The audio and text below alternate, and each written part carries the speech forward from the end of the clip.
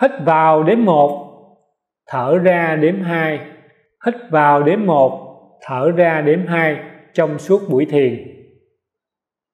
Cuối buổi thiền trước khi xả thiền hãy vài hơi thật sâu.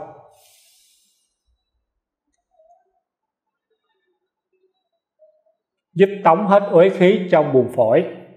Sau đó lấy hai tay từ từ ướm lên mắt xoa nhẹ má. Từ từ mở mắt ra. Hành động này massage mắt và massage cơ mặt.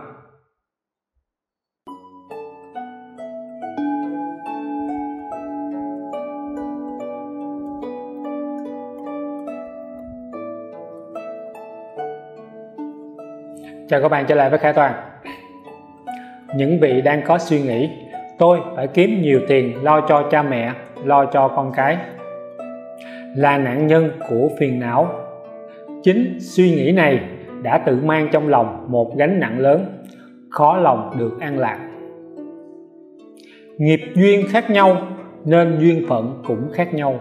Chúng ta có thể chia phước, nhưng âm đức ai tu, người ấy có được. Khải Toàn không cam đoan với mọi gia chủ dùng phong thủy để phát tài ngay, hay là dùng phong thủy để hạnh phúc không không thể có chuyện đó. Không thể có phong thủy, vì phong thủy không thay đổi được nhân quả, càng không thay đổi được sự vô thường. Mệnh của bạn có cái nhân tài phú, bạn sẽ phát tài, dụng phong thủy cho thêm cơ hội thuận lợi thêm. Nhưng để an lạc, để đoạn trừ đau khổ, chỉ có thể tu dưỡng tâm. Khi tâm định tĩnh, nhìn thấu chân tướng mọi sự việc tự khắc sẽ chuyển hóa những phiền não thành tự tại. Thời gian vừa qua, khi trợ duyên phong thủy đến các vị gia chủ, trong đó có hai vị có sinh thần bát tự khá đặc biệt. Vừa nhìn vào phát hiện ngay, đây là những mệnh giàu có về tài phú và mệnh có lòng giúp người. Muốn biết nhân đời trước như thế nào, hãy nhìn vào họa phúc nghiệp duyên ở đời này muốn biết phước phần đời sau ra sao, hãy nhìn vào những việc ta đã tạo tác ngay tại thời điểm này, của đời này. Ngày ngày bạn luôn thấy lỗi lầm của thế gian, chẳng thể nào có được tâm thanh tịnh. Vì chẳng thể nào thấy lỗi lầm của chính mình. Người tin vào nhân quả, sống với nhân quả là người không oán trách nghịch cảnh, không oán trách nghịch duyên họ chấp nhận, nghịch cảnh như là một phần của cuộc sống, chuyển hóa chúng thành sám hối bằng buông xả, bằng mở lòng. Chướng ngại đời này do đâu? Do cái tâm vọng tưởng. Tưởng tượng trong ảo vọng, dẫn đến mê lầm, dẫn đến đau khổ. Trường hợp vị gia chủ mệnh giàu có thứ nhất, cũng vì mang trong lòng cái tâm vọng tưởng dẫn đến đau khổ vì gia đạo. Thế nào là vọng tưởng? Chưa gặp em, anh đã tưởng rằng có nàng thiếu nữ đẹp như tiên. Anh chỉ ngoài 30 tuổi, sở hữu tài sản ước ao của bao nhiêu người cùng tuổi. Cách đây tầm 5 năm hùng hạp mua bán nhà cửa đất đai, gặp thời vận tốt, gặp được quý nhân tiền vào tiền vào rất ồ ạt. Bản thân anh ấy khá bất ngờ. Có nhà, có xe, có nhà cửa đất đai. Cũng trong thời gian ấy, anh quen và nên duyên với một cô gái quen chưa lâu. Đến nay có với nhau hai người con. Vài năm sau đó, anh phát hiện cô ấy không thật lòng với bản thân anh. Vô cùng đau khổ. Mỗi hành động từ ma tính từ đây bộc phát trước giai đoạn xung đột gia đạo này là thời điểm vừa xây xong một ngôi nhà vào ở không lâu thì gia đạo bất hòa. Anh ấy hỏi, có phải do xây căn nhà hay không? Khải Toàn bảo, mệnh của anh có khó nhọc. Tính anh quá nóng nảy, chuyện vào ở ngôi nhà chỉ là một phần thôi. Nhà trang trí quá nhiều hoa cảnh, quá nhiều cây cối giả là tượng của đào hoa sát anh ta vốn là người có lòng giúp người. Nhưng mỗi khi giúp ai hết lòng, nhất là chuyện tiền bạc, luôn nhận lại thất vọng. Vì sao như vậy? Vợ chồng bất hòa dẫn đến ly hôn. Đó là lúc cái tôi trỗi dậy. Không khác gì cái tôi của đứa trẻ háo ăn. Tôi phải thế này, tôi phải thế kia, tôi phải thắng. Kịch bản không khác gì những gia đạo tranh đoạt. Tranh giành quyền lợi sau ly hôn phân chia tài sản, phân chia quyền nuôi con. Dù không tha thiết hay dù không có khả năng, họ vẫn nhất quyết quyết định dành quyền nuôi con cho bằng được, cho hả dạ. Tất cả những lời nói mang đầy sát khí trong cơn oán giận. Cái tôi trỗi dậy, nhìn đâu cũng thấy oán giận. Đó là lúc vận khí của bạn suy. Yêu ma linh giới luôn bên cạnh thân hậu mệnh, dù có muốn cũng chẳng thể ngăn cản được bạn. Cái tôi càng lớn, trí tuệ càng kém. Cái tôi và trí tuệ cũng giống như bóng tối và ánh sáng. Vẫn căn phòng ấy, bóng tối luôn hiện hữu, chúng chẳng đi đâu cả. Chúng ta không thấy chúng vì đã được ánh sáng lấp đầy. Khi tâm trí an tĩnh, xả bỏ được những nỗi oán giận trong quá khứ chẳng thể nào bóng tối có thể chiếm hữu được tâm trí lúc ấy. Nếu chưa tình, thì ngày nào khi nào bạn đau khổ hãy ngồi xuống tĩnh tọa. Dành vài phút mỗi ngày để thiền định bạn sẽ nhận ra vì sao mình đau khổ. Cha mẹ bất hòa người thân tranh giành đoạt lợi thời gian tranh đoạt càng dài thì những đứa là nạn nhân trực tiếp của cuộc tranh đoạt này. Chúng không thể hiểu. Chúng chưa đủ trí tuệ để cảm thông cho cha mẹ, cho người lớn. Khi vị gia chủ trải lòng với Khải Toàn, chia sẻ xong, Khải Toàn nhận thấy anh ta như trút bỏ được gánh nặng phiền não rất lớn, chất chứa trong lòng bấy lâu nay. Nhận thấy anh ta phần nào nhận ra lỗi lầm của mình và muốn cải biến vị gia chủ bảo, em thực sự cố gắng hết sức để gia đạo an ổn, nhưng không thể nào quên được những việc trước kia. Những sai trái của người khác, những sai lầm của chính mình, nó cứ mãi trong đầu.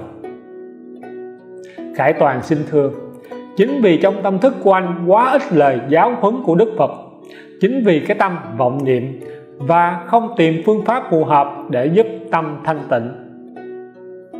Chính vì những điều khi nghịch duyên ập đến, không biết cách để chuyển hóa. Càng nói càng bất hòa, càng hành động càng gây đáng tiếc.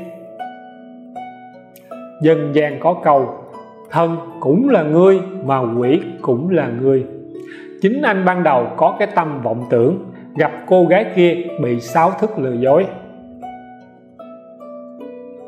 Ban đầu tưởng rằng cô ấy hoàn hảo, cô ấy tốt tính cô ấy hết lòng vì mình. Sau thời gian chung sống, mọi việc không như tưởng. Thế là tự thất vọng, tâm trí đau khổ tột cùng. Mọi sự việc xảy ra, chúng không nói với ta rằng tốt hay xấu. Tất cả do chính chúng ta tự huyễn hoặc, tự huyễn hoặc sự vật, tự vọng tưởng lên sự việc. Vì vậy trong thiền có câu gặp ma diệt ma, gặp Phật diệt Phật. Hàm ý sâu xa của câu này bảo rằng không nên phân biệt tốt xấu, không nên phân biệt trắng đen. Càng không nên vội vã phán xét sự việc. Khi vội vã phán xét sự việc nào đó, sẽ dùng cái tâm phàm phu để nhận định, khó lòng chính xác. Những gia đạo bất hòa, tâm ma trỗi dậy, cái tôi lớn như bầu trời không chỉ tranh giành đoạt lợi, giành tài sản, giành quyền nuôi con có thể dẫn đến mầm móng tạo nhân bất thiện cho người đến sau. Người đến sau này ganh ghét vợ chồng cũ và cả những đứa con điên của họ. Thật bất hạnh với những đứa trẻ khi rơi vào cảnh tranh đoạt này. Nếu người đến sau không có tâm Bồ Tát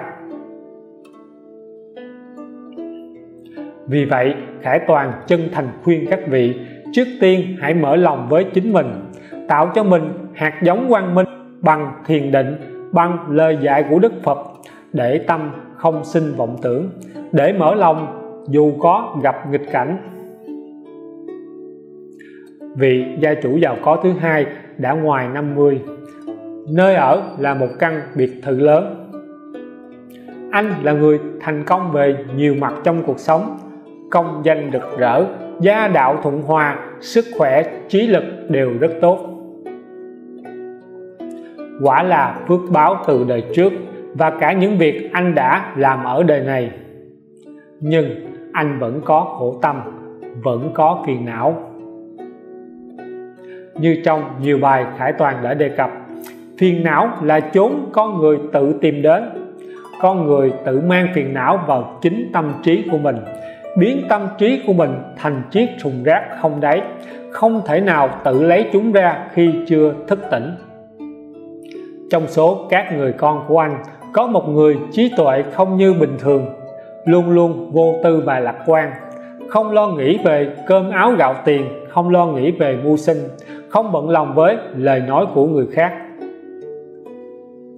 Có một lời thoại vô cùng ấn tượng trong bộ phim hoạt hình chân to chân nhỏ, vô tri là hạnh phúc. Nếu nghiệm lại câu nói ấy, quả thật không sai.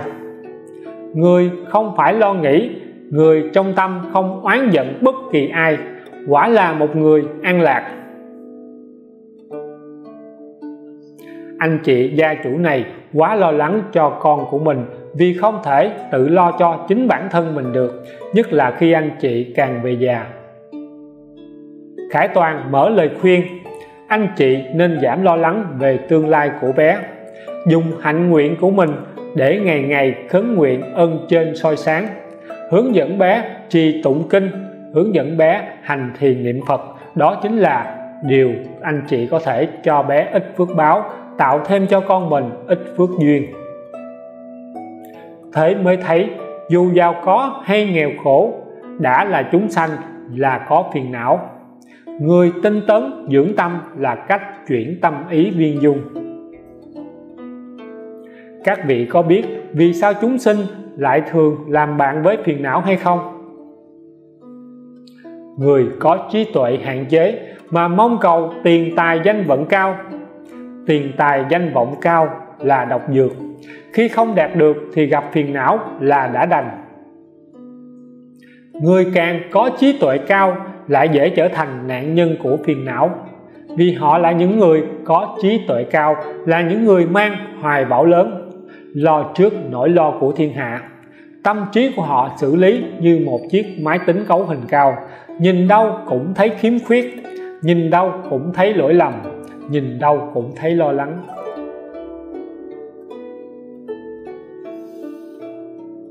Họ luôn muốn con cái mình thật thông minh tài giỏi muốn con cái thi điểm cao, vào trường tốt để mai sau có công danh sáng, có chức vị cao. Nhưng họ không biết đây là con đường dễ dẫn đến đau khổ phiền não. Con cái càng thông minh, càng khó dạy bảo. Người càng thông minh được học cao là tiền đề cho tương lai. Nhưng nếu sự giáo dưỡng thiếu đạo làm người, đạo làm con thì làm sao có thể an lạc? Đây là nỗi bất hạnh cho cha mẹ. Vì khi con cái có chức vị cao, dễ xem thường cha mẹ, người càng thành công, càng bận rộn với công danh, còn đâu thời gian lo cho cha mẹ nữa. Giả dụ xưa kia, ngoài dạy con việc học hành chăm chỉ, dạy con và làm gương cho con, đạo làm người, khi đứa trẻ trưởng thành, ngoài sự thành công còn có thể hiếu thuận với cha mẹ xã hội ngày nay dạy trẻ điều gì? Trong gia đạo của bạn, dạy trẻ điều chi? Có phải dạy hay bắt trẻ học thật nhiều? Phải điểm thật cao? Phải đậu trường giỏi để đạt danh vọng cho mai sau? Đã có bao việc đáng tiếc xảy ra vì áp lực học hành. Nhưng các bậc làm cha làm mẹ vẫn mong cầu con gái mình con cái của mình học thật tài giỏi. Khi trẻ được dạy cạnh tranh, sẽ dẫn đến đấu tranh, dẫn đến cả chiến tranh. Là hạt giống của đau khổ, không phải hạt giống của quang minh. Để xả ly cái tâm vọng niệm, quả thật rất khó. Ngày ngày bạn mãi mê làm ăn kiếm tiền, không còn thời gian cho việc dưỡng tâm, làm sao có thể giác ngộ người càng nóng tính, làm việc, ngoài làm việc, làm ăn kiếm tiền, còn đáp trả thị phi. Thế là vừa làm ăn kiếm tiền, vừa cả kiếm chuyện. Tâm trí hoàn toàn không còn chỗ trống, nghĩ đến việc xả ly cái tâm vọng niệm.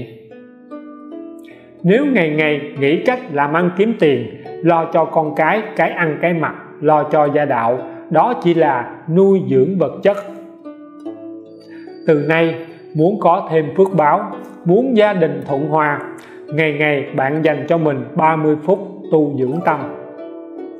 Qua các giáo pháp, đọc sách hay trì kinh, đơn giản nghe các thầy trên YouTube. Nhưng Khải Toàn chân thành khuyên hãy dành ít thời gian để thiền định. Đây là bước đầu tiên bạn tự gieo nhân lành, tự gieo hạt giống quang minh vào chính mình không chỉ cho tâm trí của mình mà cả những người thân thương. Khải Toàn, cảm ơn các bạn đã xem. Chúc các bạn tâm thân an lạc.